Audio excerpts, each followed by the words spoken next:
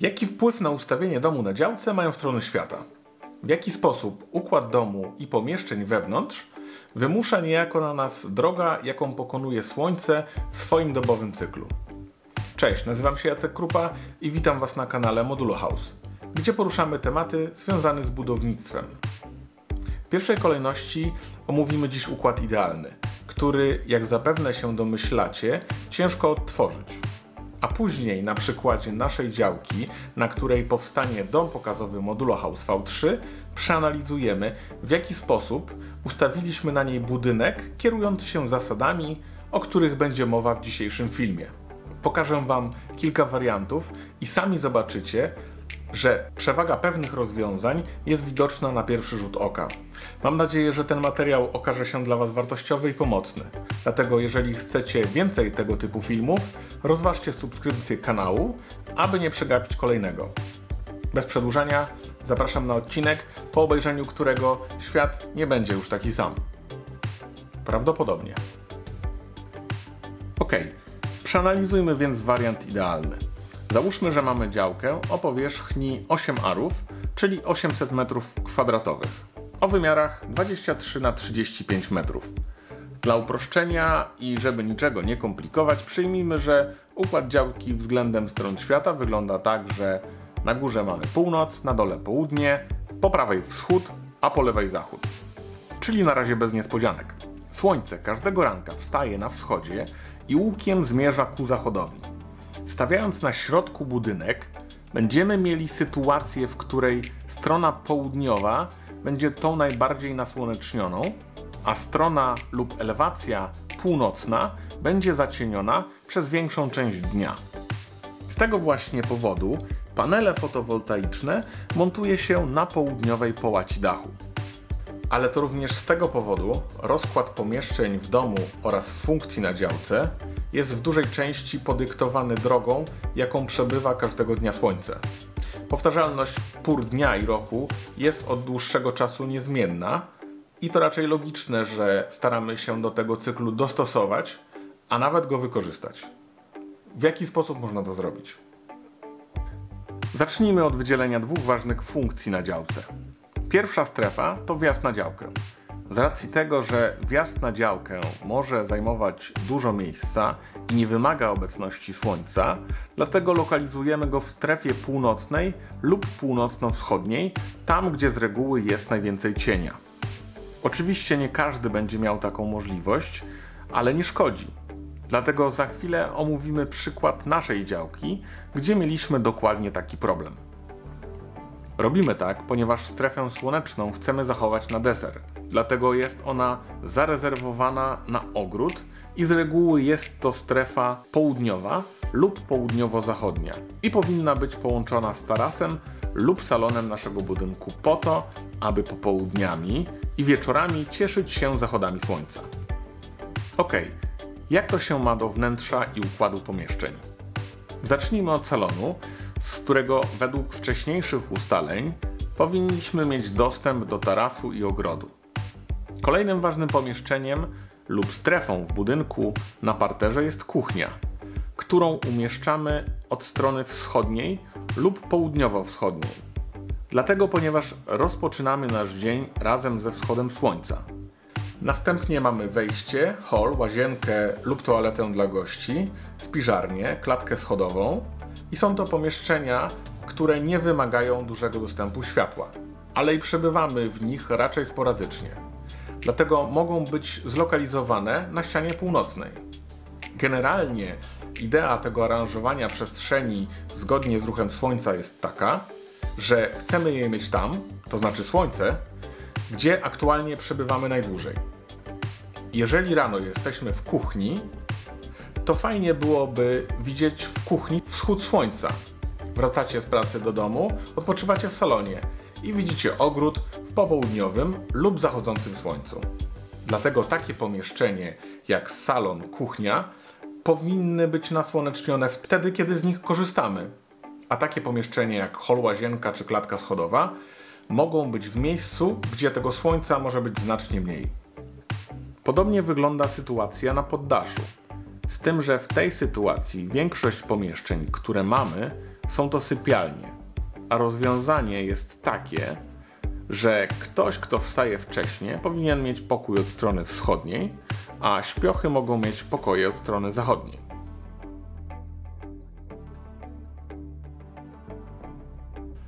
Przeanalizujmy te trzy układy. Mamy tu takie same działki, ale na każdej działce układ budynku jest inny. Każdy układ ma wjazd od strony północnej, czyli jak na razie wszystko ok. Ale tylko dwa układy są tarasem skierowane na stronę południowo-wschodnią.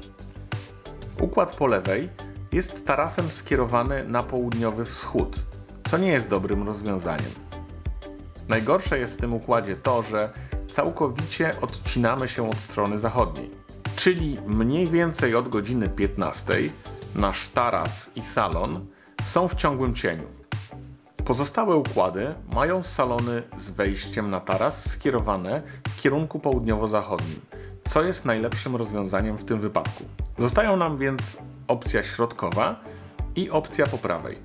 Oba układy są akceptowalne, ale jeden ma przewagę, a właściwie nawet dwie przewagi nad drugim. Ściana lub elewacja, która na żadnym układzie nie jest widoczna, jest ścianą, na której znajduje się łazienka, klatka schodowa, spiżarnia, schowek. Oczywiście jest to świadoma decyzja projektowa. I ta właśnie elewacja tylko na układzie środkowym jest ustawiona w optymalny sposób. I to jest przewaga numer jeden. Przewaga numer dwa to ekspozycja południowa dachu z instalacją fotowoltaiczną. Tylko środkowy układ jest najlepszą opcją pod względem produkcji energii. Układ po łaci wschód-zachód jest również akceptowalny i może mieć swoje plusy, ale jednak nieco lepszym rozwiązaniem jest instalacja południowa. Ok, to teraz przejdźmy do konkretnego przykładu. Co się dzieje, jeżeli nie mamy idealnej działki i nie możemy również zlokalizować wjazdu od północy? Jak to wtedy rozwiązać? Jak mówiłem w poprzednim filmie, kupno idealnej działki jest bardzo trudne i z reguły musimy przymknąć oko na pewne niedogodności lub wady. Tak było w przypadku naszej działki, która mówiąc wprost idealna nie jest. Zdawaliśmy sobie z tego sprawę od samego początku. Wiedzieliśmy, że pomimo minusów da się zrobić na niej to, na czym nam najbardziej zależało. Przyjrzyjmy się jej więc nieco bliżej. Zacznijmy od kształtu. Nasza działka jest trójkątna, więc jej kształt odbiega od kształtu idealnej działki, o której mówiłem w poprzednim filmie. A mało tego, ma również wyznaczoną nieprzekraczalną granicę zabudowy, która utrudnia lub może bardziej ogranicza nam obszar, gdzie możemy postawić budynek, garaż i być może w przyszłości budynek usługowy lub gospodarczy. Na duży plus zasługuje powierzchnia, bo działka ma 1600 m2, czyli 16 arów. Jak mówiłem wcześniej, często jest tak, że przymykamy oko na pewne sprawy, ale w naszym przypadku minus kształtu bilansuje nam większa powierzchnia działki. Więc koniec końców wyszło całkiem dobrze. Jak działka ustawiona jest względem stron świata? Nie jest tragicznie, ale zamiast opowiadać Wam, co jest dobre, a co jest złe w naszej działce, od razu pokażę Wam układ i umiejscowienie domu, garażu oraz wjazdu. I na tej podstawie omówimy problemy oraz ich rozwiązania. Zacznijmy więc od układu budynku, który finalnie ustawiliśmy w taki sposób, czyli jest to układ podobny do środkowego rozwiązania z naszej wcześniejszej analizy. Pamiętajcie, że opcji ustawienia budynku na działce jest dość dużo. I z reguły każdy projekt ma możliwość odbicia lustrzanego, co pozwala na ustawienie domu na niemal każdej działce. My sprawdziliśmy wiele układów i podobnie jak w naszej poprzedniej analizie, wybraliśmy układ środkowy, ponieważ w naszym przypadku ma on najwięcej sensu. Dzięki temu mamy przede wszystkim znacznie więcej miejsca na działce, zarówno od strony północnej, jak i południowej. Zdecydowaliśmy się na wjazd w narożniku działki, który był problematyczny od samego początku. I gdyby nie wjazd, prawdopodobnie byłby to fragment, z którym niewiele dałoby się zrobić. Bo załóżmy przez chwilę, że robimy wjazd mniej więcej na środku.